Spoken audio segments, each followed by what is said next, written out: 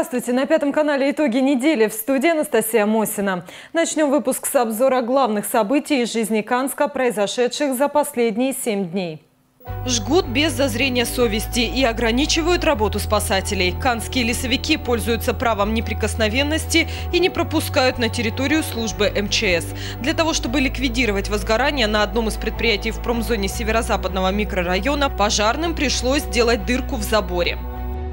Льготники Канска в безвыходном положении. В аптеках нет необходимых им препаратов. По нескольку недель больным откладывают выдачу жизненно важных медикаментов, аргументируя это элементарным отсутствием лекарственных средств. Отметим, аптеки, осуществляющие выдачу льготных лекарств в нашем городе, являются не больше, чем просто складом для хранения. Закупку и поставку осуществляет Краевое министерство.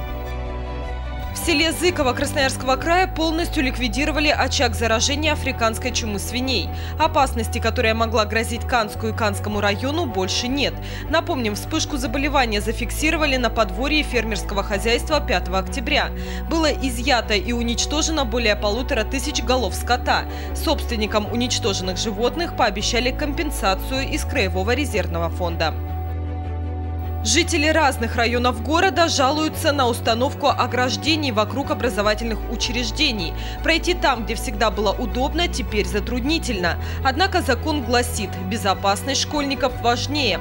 Надзорные органы обязали школы и детские сады установить заборы. Отдых детей в летних лагерях и на пришкольных площадках родители теперь на 30% будут оплачивать сами. Об этом рассказали на встрече с руководителями образовательных учреждений Канска, которая была посвящена подведению итогов летней оздоровительной кампании. Кристина Гусева, жительница села Бражная, стала красой района. В Филимоновском доме культуры прошел районный конкурс красоты. За корону в этом году боролись 20 девушек. Кристина будет представлять Канский район на конкурсе «Красавица Сибири». И теперь о темах сегодняшнего дня. По поручению прокурора края в доме, куда месяц назад заселили пострадавших от майских пожаров, состоялся выездной прием граждан. Новоселы рассказали надзорным органам о проблемах, с которыми они столкнулись. Моя коллега Ольга Ванеева также выслушала отчаяние жителей. 48-я, 54-я, 53-я, 3-я, 49-я, 1-я, 57-я. Кого не сказал? Помощник Канского межрайонного прокурора записывает в блокнот номера квартир, где люди имеют какие-либо жилищные проблемы. Адресов набирается больше десятка. Основной недостаток у всех – это сырость и холод в квартирах. Как дождь. Сразу мокреет. Дождя нету, все, оно сохнет и плесень. Разводы и темные пятна в углах – настоящая беда у людей. На момент сдачи дома служба строительного надзора не обнаружила данных недостатков, поэтому приемка здания прошла без проблем. Нам сказали, к Новому году все это будет у нас чернота вылазить. Но, извините, еще Нового года нет у нас все это. А к Новому году тут вообще неизвестно, что будет. Версия специалистов – спешная сдача дома, который не был должным образом просушен на ту влагу, которая осталась еще с момента строительства, люди в процессе эксплуатации еще добавляют свое. Ну, поэтому нужно подождать какое-то время, набраться терпения, и все это решится. Вместе с сыростью люди жалуются и на холод. Батареи не везде теплые. Несмотря на то, что сейчас в квартирах около 22 градусов, на ночь практически все ставят обогреватели. По результатам сегодняшней работы мобильной приемной будет инициирована проверка, в том числе, э, возможно, службы строительного контроля надзора и выяснение вопросов э, у застройщика по качеству и по обеспечению, устранению данных недостатков. Напомним, дом был сдан полтора месяца назад. В нем проживают 60 семей, пострадавших в майских пожарах. Еще 7 семей дожидаются, когда получат новые квартиры. Ольга Ванеева, Александр Шумилин. Итоги недели. В 15-й школе тем временем продолжаются кровельные работы. Педагогический коллектив все летние каникулы ждал, когда подрядчик приступит к ремонту крыши их образовательного учреждения. Однако работы начались только в октябре. Татьяна Каркешка выясняла, почему ремонт переносили. Источником финансирования замены крыши Канской школы стала краевая программа Министерства финансов «Создание комфортных благоприятных условий». Зданию более 30 лет и за все время эксплуатации крышу ни разу не ремонтировали. Роспотребнадзор признал ее состояние аварийным и сделал предписание. Чиновники провели торги и в августе была определена подрядная организация. Строители зашли на объект, оценили масштаб работ и отказались от выполнения контракта. Местными властями было принято решение провести аукцион повторно. Его выиграла фирма «Престиж Строй», которая в данный момент ведет работы. В течение 10 дней, вот 16 октября, сегодня 26 октября, э, подрядная организация выполняет работу. Вот сейчас провели штаб, видим, что на объекте работает в пределах 15 работников. Значит, работники работают с 7 утра до 7 вечера полностью световой день, в субботу, воскресенье для них рабочий день. На сегодняшний день выполнены работы на 30% от общего объема. Уже в субботу строители зайдут на третий этаж. Подрядчик обязуется в ближайшие 5 лет крыша протекать не будет. На сегодняшний день вот э, на двухэтажном здании э, полностью выполнены вот э, демонтажные работы монтаж э, утеплителя, там монтаж э, керамзитов и выполнена цементно-песчаная стяжка с армированием. Несмотря на ремонтные работы, школьники находятся в комфортных и безопасных условиях. Уроки проходят в тех кабинетах, над которыми не осуществлялась замена кровли.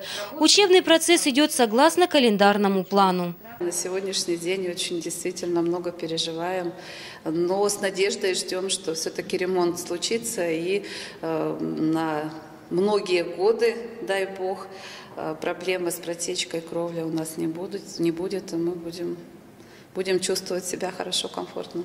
Добавим, планируют завершить ремонт 1 декабря этого года. Школа начнет свою работу по штатному расписанию и во всех учебных кабинетах. Татьяна Каркешка, Вячеслав Морозов. Итоги недели. В администрации Канска рассказали, что в текущем году канские предприятия в основном получали поддержку из средств краевого бюджета. Из федеральной казны денег на расширение или модернизацию предприятий нашего города выделено не было. Те средства, которые сегодня есть в бюджете, они идут через малый бизнес, и тем самым идет, а, э, как сказать, это оживление экономики, потому что возле э, бизнеса, когда мы потребляем для нужд образования, культуры достаточно большое количество малых предприятий, которые выходят на торги к нам, которые работают с нами, когда мы финансирование стараемся не задерживать в определенных рамках, которые у нас сегодня прописаны. Некоторые эксперты отмечают, что экономика Канска в настоящее время готовится, если так можно сказать, к реанимации. Чиновники работают над программой развития и поддержки бизнеса. Экономическую тему мы продолжим в рубрике «Гой студии» с директором компании «Канская агросельхозтехника» Валентином Григорьевым. Не переключайтесь. Пушистый зоопарк ждет всех желающих. С вами и с вашими детьми готовы пообщаться десятки представителей фауны, среди которых два козленка, шиншиллы, кролики, морские свинки, ежик, черепахи и перепелки. Отличная новость! Совсем недавно животных в зоопарке стало больше. Теперь здесь обитают большие улитки, ахатины, белые шпорцевые лягушки, тритоны и нутрия. Планируем э, приобрести ягненка, декоративного поросенка, основной упор именно на тех животных, которых можно все-таки погладить. То есть не, не какие-то дикие животные, которые сейчас можно увидеть в других контактных зоопарках. Это лисы, еноты, змеи там, и так далее. То есть они могут укусить и травмировать ребенка. То есть у нас именно расчет на маленьких детей, на то, что общение с этим животным. Пушистый зоопарк работает ежедневно. В будние дни с 12 до 19.00, выходные с 10 до 20.00. Цена билета для детей до 14 лет 150 рублей, для взрослых 200 рублей. Приходите, торговый центр Порт-Артур, второй этаж, вход над авиакассами. Сегодня у нас в гостях кандидат экономических наук, генеральный директор компании «Канская агросельхозтехника» и «Канск агроснаб нефтепродукт» Валентин Григорьев. А, здравствуйте, Валентин Добрый Николаевич. Мне интересно ваше мнение как человека, который уже много лет живет и делает бизнес в Канске. Как вы оцениваете экономическое положение нашего города? Ну, надо начать, наверное, прежде всего с того, что все-таки наш бизнес, он более склонный, значит, к сельскохозяйственному развитию а, и поддержке сельскохозяйственных предприятий. Но так как наш бизнес все-таки находится на территории города Канска, естественно, мы настолько взаимосвязаны, и значит, трудовые ресурсы, и, в общем-то, потребление электроэнергии, и всех таких вот моментов, которые требуются для развития нашего бизнеса. Но плотно да. работаете в основном с Канским ну, районом, да, да и вообще мы, с районами. Мы работаем просто со всеми районами Красноярского края, потому что вся наша техническая продукция, та, которая поставляется заводу в Беларуси, а, мы работаем непосредственно дилерами завода в Беларуси являемся. Наше предприятие – это агросельхозтехника – ну и, естественно, значит, этот бизнес развивается на территории всего края. То есть наша техника имеется также и в Минусинске, также в Шарыпово, также и в Шушинская территория. То есть э, она имеет большой э, объем потребления. Я вернусь к вопросу, вот как вы оцениваете экономическое положение Канска? Ваше экспертное мнение? Может быть, субъективное? Ну, я не являюсь экспертом, я все-таки житель, прежде всего, и руководитель э, предприятия. А, ну, надо одно сказать, что все-таки за период этого времени надо э, быть все-таки откровенно честным. А, изменения явно сегодня в территории происходят. А, экономика, не так сказать, что она быстрыми темпами растет, но тем не менее, значит, предпосылки всему этому есть. Сегодня мы предпосылки говорим, к росту. Да, и предпосылки к росту есть, и рост есть. Значит, мы, если даже давайте вспомним один такой момент, даже три года тому назад – когда Толоконский первый раз приехал в город Канск, то он схватился за голову Виктор, Виктор Владимирович Александрович. Александрович, угу. да, значит, в том плане, что в каком состоянии находился город Канск.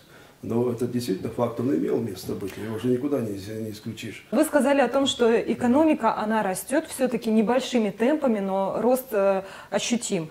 Скажите, как его должны увидеть и видят ли его жители города? То есть как это отражается напрямую на жизни ну, нашей? Я думаю, вот даже за последний момент, который произошел а, вот именно в жизни города, это комфортная э, среда, которая сегодня вот э, что большой надо, партийный это, проект. Да, это угу. проект. Э, ну, я бы не стал его партийным относить, все-таки это, наверное, программа более государственного масштаба. Федеральная. Потому угу. что, как правило, партии не имеют денег, а имеют государственная система. А, значит, ну, о том, что, может, ходатайства какие-то были, ну, это, да, действительно может иметь место быть. А, но действительно, все-таки 53 двора а, в городе, территории сделаны, значит, э, участие приняли сами жители, жители в том плане, что они участвовали, значит, даже в софинансировании этих проектов. Да, да. Ну, дай бог, сегодня мнение людей стали слышать, это что же, как бы людей бодрило. Ну, сегодня надо сказать, и все-таки две площадки, те, которые сегодня есть и в плане того, что э, предмостная да, площадь, и у нас сегодня в проекте стоит, стоит э, молодежный центр, сегодня сделать привокзальную площадь в каком-то мере еще, ну, конечно, ясно, что ее нужно еще доводить, а, ну, с парком начали заниматься, ну, это же как-то привлекает, и молодежь маленько вдохновляет в том, что жизнь-то интереснее становится. Я думаю, в этом моменте надо отдать должное. Много говорят местные чиновники об инвестиционной привлекательности нашего города. Этому даже посвящен ежегодный там, экономический форум, это одна из тем этого форума. А, как вы считаете, может ли интересен быть Канск э, крупному бизнесу? Ну, я ни в коей мере не могу его исключать. Почему? Потому что если рассматривать с вопросом экономики, ну, все-таки мы находимся, э, имеем э, мощную железнодорожную, значит, э, транссибирскую магистраль. Значит, идет Москва-Владивосток, трасса проходит. Э, производство значит, э, лесной отрасли, которой нужно или просто необходимо ей заниматься. Это действительно в реальности должны мы заниматься. Это наша сырьевая база, которая сегодня она имеет место быть на этой территории. А, значит, надо научиться и вложить, найти средства для того, чтобы сделать, довести дело до переработки отходной части производства лесной ну вот я того, хотела спросить, как вы относитесь к, этой, к этому направлению, скажем так, да, экономики в нашем городе? По-моему, она недостаточно все-таки хорошо работает, это направление. Ну, здесь много надо э, как бы примеров приводить в этом плане. Без э, такой привлекательности, без средств явно мы его и не произведем. Да? Это или должны извне люди прийти, со своими средствами, со своими возможностями, и эту работу как бы провести, вот, утилизации, переработки, а прежде всего это переработка. Переработка, но все-таки мы вот давайте сравнение сделаем. Вот пришла же китайские да, э, работники, Но они же не с чистого поля начали работать, они явно начали работать, что имеют средства экономической значит, поддержки. Это средства, деньги, будем так ну, говорить. конечно. Да. И они на этом э, плане как бы зарабатывают. Э, сегодня наша задача, наверное, и руководителя города, это, скорее всего, это руководителя края, э, все-таки заставить значит, тех специалистов, которые, или те компании, которые занимаются переработкой яйца, все-таки утилизацией, привести ее в соответствие. Э, ради Бога, занимайтесь, мы вам даем сырьевую базу, да, мы имеем э, ресурсы лесные, но будьте такие добры, в общем-то, производить эту работу э, для того, чтобы утилизацию провести. То есть, если бы Это сейчас я задала... Направление бизнеса, она тут действительно имеет даже вот в этом направлении. Если бы я сейчас задала вам вопрос, кто виноват в том, что случилось в мае, да, в нашем городе, вы бы, наверное, оставили это на совести предпринимателей. Ну, не совсем. Не совсем. Все-таки, все-таки надо быть объективным в этом плане. А, значит, э, есть же ряд и тех предпринимателей, которые добросовестно выполняют свою э, функцию, ту, которая утилизирует это в этом плане. Подчастую их нельзя сегодня как бы склонять к тому моменту, что они эту работу не делают. А, но а, надо, по крайней мере, наверное, принудительно все-таки заставлять. Э, значит, если мы вам даем возможность у нас зарабатывать, то имейте в виду, что вы должны это переработать для того, чтобы этот бизнес развивался. Поэтому я думаю, что все, прежде всего, конечно, руководители края все-таки должны на уровне законодательного собрания поставить четко функции тех инвестиционных программ, какие функции они должны выполнить, что они должны сделать, какой объем электроэнергии будет потреблять, какой объем будет выпускаться той продукции, которая на этом будет бизнес развиваться. А какие направления вы еще видите перспективными в Канске, вот ну, если говорить об экономических, э, бизнес-процессах каких-то? Ну, я бы, наверное, прежде всего бы имел в виду а, значит, у нас очень мощно развито сельскохозяйственное предприятие на территории Канского района и в окружении восточного региона, будем так говорить. Это Дзержинский а, район, Абанский район, Канский район, э, Рыбинский, Рыбейский. Это сельское хозяйство. Это явно переработка той продукции, которую они выращивают. Это первое что? Это зерно. Зерно, в принципе, кроме как мукомольного производства, оно больше нигде не востребовано. Но разве зерна только эту можно продукцию делать? Сегодня можно десятки видов продуктов выпускать, на этом фоне делать. А, значит, э, все те требования, которые должны быть к продукту нормальному, наше зерно способно это дать, потому что оно действительно высокого качества сегодня выпускается и выращивается на нашей территории. Это одно из направлений. Молочное производство. Молочное производство, которое сегодня у нас практически 60% вывозится за пределы не только края, края, но и других областей, территорий. Иркутская, Иркутская область, например, область, да. да. Значит, а, Абакан э, частично уходит. А, здесь-то перерабатывается, кроме розлива молока, более ничего тут не происходит. Ну, делает где-то там сметанку, делает там творожок и не более того. То есть у нас только компонентов с одного молока можно выпускать до 60 э, видов продукции. Поэтому, конечно, вот это направление, оно еще не настолько востребовано, что его нужно, конечно, применять. Я думаю, экономика в этом должна и подниматься, переработки. Затронули сельское хозяйство. Вы являетесь депутатом районного совета. А, скажите, вот в Канском районе развитие сельского хозяйства сейчас на каком этапе и как бы вы его оценивали? Ну, во-первых, надо сказать, что это стабильно. Стабильно, да, значит, производство сельскохозяйственное.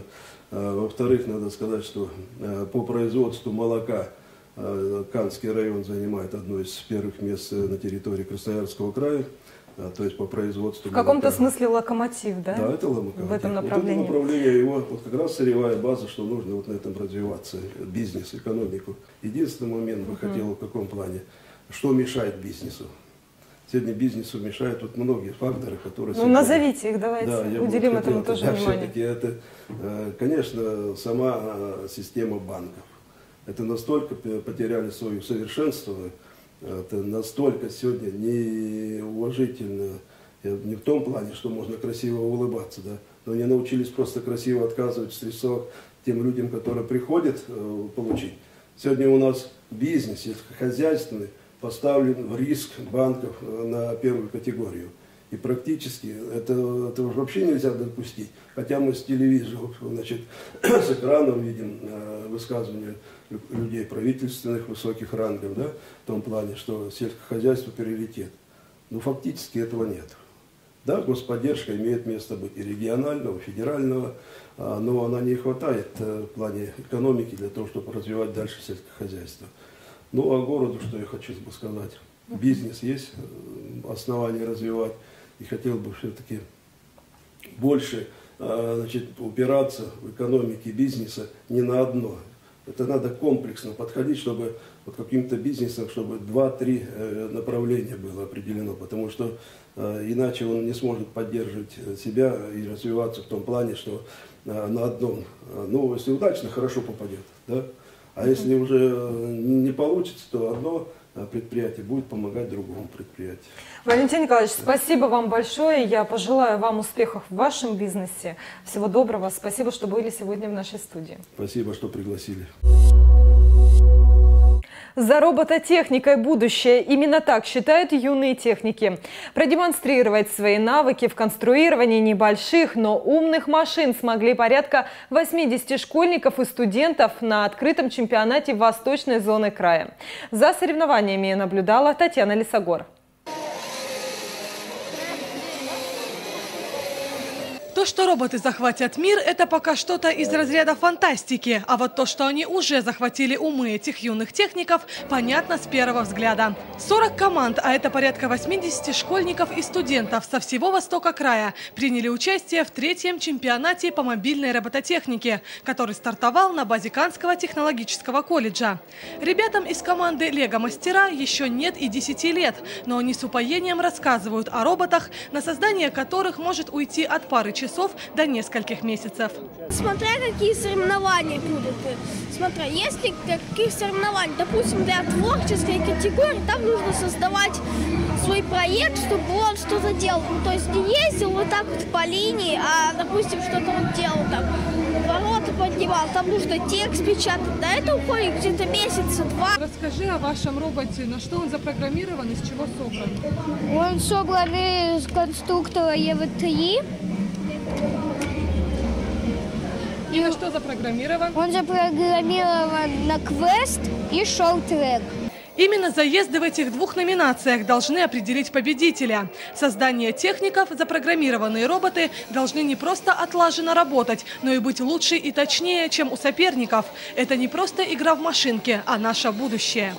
В шорт-треке роботы соревнуются на скорость, кто быстрее проедет трассу, а в траектории квест тут как нужно, чтобы роботы еще распознавали распознавали дистанцию, распознавали, куда повернуть, то есть э, направление, движение и возможные препятствия. То есть тут смена линии, потом э, зебра у них там будет, э, перекресток, то есть все по правилам дорожного движения. Назар занимается робототехникой три года и мечтает создать по-настоящему полезную машину. Я хотел бы сделать робота для медицины, чтобы он помогал в медицине. Классические заезды направлены на подготовку ребят к участию в более серьезных соревнованиях Junior Skills, которые пройдут уже в январе. Татьяна Лисогор, Александр Шумилин. Итоги недели. В преддверии зимнего сезона одна из крупнейших меховых компаний «Белка» предлагает огромный выбор шуб, головных уборов, дубленок и меховых жилетов. Цены, пожалуй, самые низкие. Предоставляется рассрочка и кредит без переплаты. Подробности далее.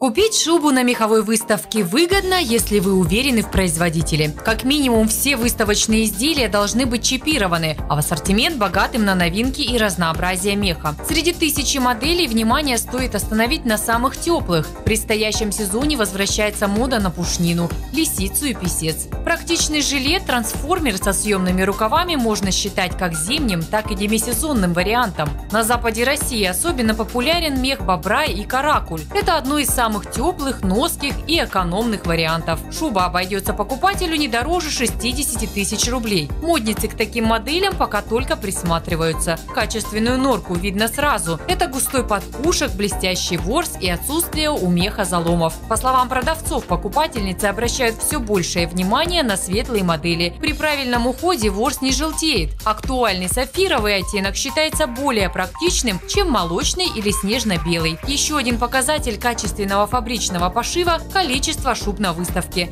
Чем их больше, тем провереннее лекала и шире размерный ряд. Если вы купили шубу без капюшона, то подобрать головной убор можно прямо на выставке меховой компании «Белка», которая работает 30 и 31 октября в ГДК с 10 утра до 7 вечера. Такой запомнится нам уходящая неделя. На этом наш выпуск завершен. С вами была Анастасия Мосина. До свидания и хороших выходных.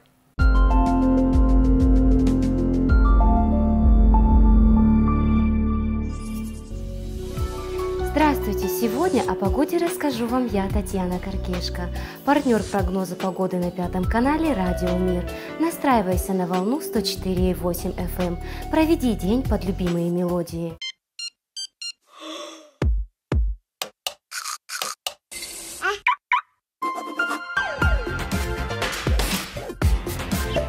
Радио Мир.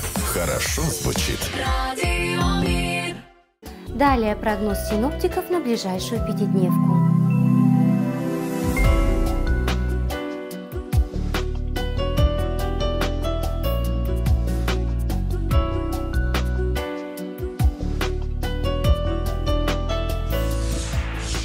Теперь о том, какая погода ожидает нас в ближайшие сутки.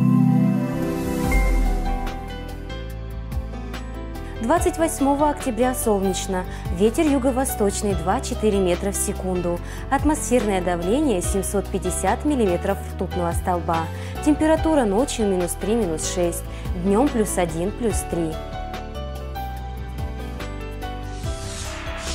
Это все на сегодня. Тепла вам и удачи!